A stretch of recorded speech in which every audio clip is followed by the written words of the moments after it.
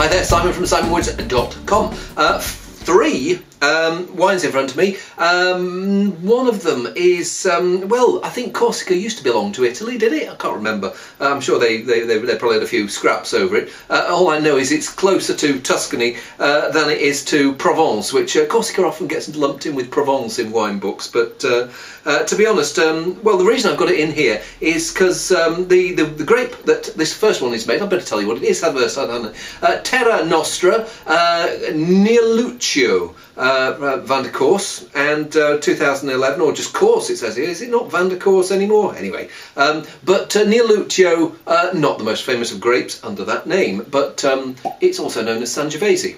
So dig in, that's why I've got it with the two Italians and there's a bruised cherry sourness about this. Uh, smells like it's going to be uh, fresh and perky, and yeah, more in common with um, uh, Italian wines than um, uh, than, than certainly uh, with a, a, lot of uh, southern French reds. Um, and it smells like it's going to have be one of those food-friendly ones. quite low in alcohol. I think it's 12%. Yeah, 12%.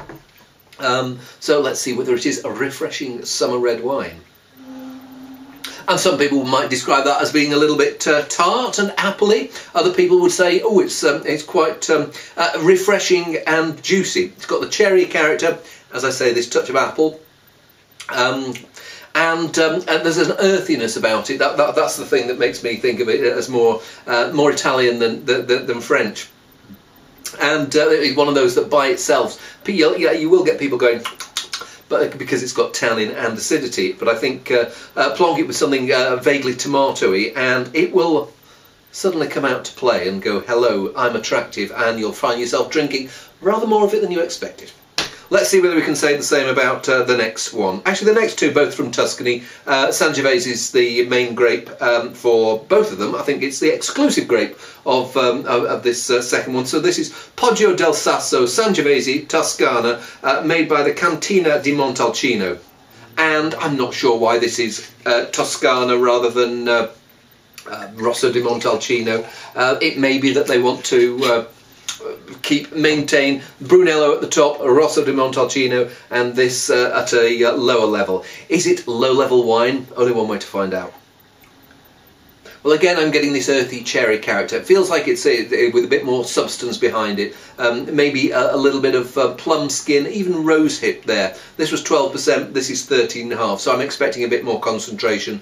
Um, maybe if it's, it's, it doesn't smell, I, I, I, don't get too much of that um, uh, warm uh, heartiness that uh, that I want in, in wines from this area, but um, it's not the most expensive of wines. But uh, so have I any right to expect it? But anyway, better better try it first. It's okay.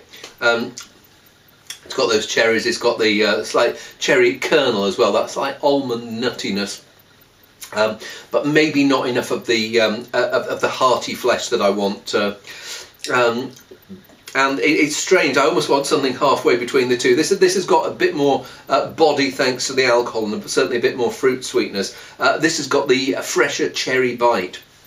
So maybe I'll try blending the two later, but uh, off camera. Uh, let's see whether I uh, come up trumps with the final one, which is Vigneti Trebbio 2010. Um, and um, I think this is Sangiovese. I'm not sure how much Sangiovese, uh, with uh, some Cabernet, Merlot, and Syrah in.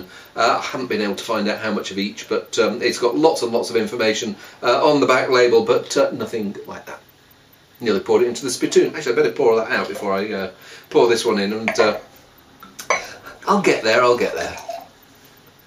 Now, I'm not sure how much Cabernet and Merlot they've used here, but um, it really does smell like a, a, a, combination of Tuscany and Bordeaux. Uh, so the Tuscan bit is this um, earthy, spicy, uh, slightly baked cherry uh, character of Sangiovese. The Bordeaux um, thing coming through is a leafy, herbaceous, no, herbal rather than herbaceous uh, uh, richness and more on the blackcurrant plumminess and blackberries. Um, it smells like they're sitting together rather nicely and uh, anyway, but let's try and see whether they, uh, they taste as if they're making beautiful music. Well, I like that. Dot dot dot. Well, the dot dot dot. Well, first of all, the good bits. Um, a really nice, gentle extraction. It doesn't feel like they've done. They, have they've, they've tried to get as much as possible out of the grapes. Um, and uh, it's uh, there are no hard tannins there. Uh, are some chewiness, uh, but um, it's um, the, the, the, fruit suppleness around it is. Uh, more than able to cope with that. Um, uh, however, my concern is mainly to do with um, well, I, I, like I like I think Cabernet works really nicely in Tuscany. However, plonk it in a blend like this, and uh, it, it seems to be, be taking over slightly. Um, so I'm getting this chocolatey, leafy black currant, which I think of as being uh, uh, from the Cabernet rather than maybe from, from the other grapes in there and it is just tending to be a little bit too loud and pushing the other grapes more into the background. I'll be fascinated to see how it, um, uh, what happens to it over the next few hours, whether the other grapes get a chance more to uh, uh, have their say or whether the Cabernet remains the dominant factor. Um, my favourite of the three wines, uh, but um, yes, one of those wines that has me sort of going, hmm, hmm. So I'm going to go away, do my musing over the next few hours, and uh, I'll report back. See you soon.